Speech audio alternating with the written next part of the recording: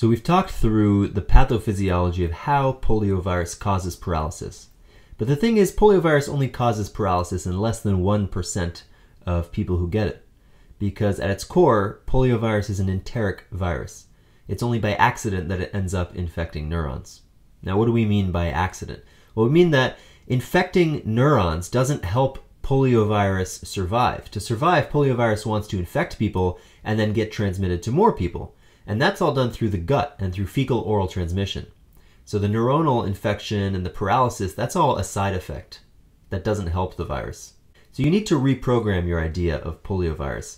Polio can present in many ways, and almost all of them make sense if you understand the pathophysiology. Each clinical syndrome that it causes corresponds to the virus stopping at a certain step in the chain of steps that we talked about, from GI tract all the way down to the CNS. So first of all, it turns out that in 90% of people, the virus never gets into the blood in serious quantities. So they have no symptoms. They do have viral replication in the gut, and they shed the virus into their feces and they can spread it to other people, but they never know it. So we call that subclinical. So in about 8% of people, the virus does get through the lymph nodes and into the blood, but then doesn't get into the central nervous system. So these people do have symptoms, and those symptoms are because of the viremia. Like what? Just general symptoms of systemic inflammation. Regular viral symptoms like fever, malaise, headache, maybe vomiting. And if the infection doesn't go any further and stops here, then we call it abortive polio.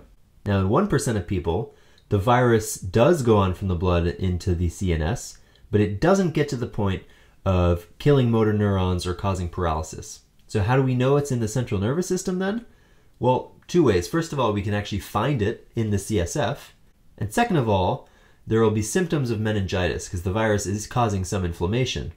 And so you'll have neck stiffness, photophobia, fever, and we call this non paralytic poliomyelitis. Finally, in 1%, or actually less than 1%, you get paralytic poliomyelitis.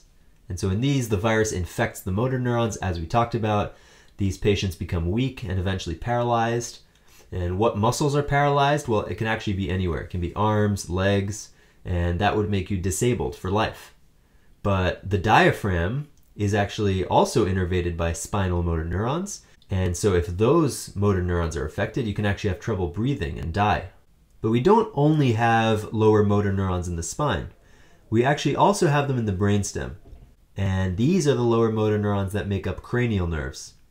And turns out poliovirus can actually infect these too. And when it does, we call it bulbar poliomyelitis, where bulbar means in the brainstem.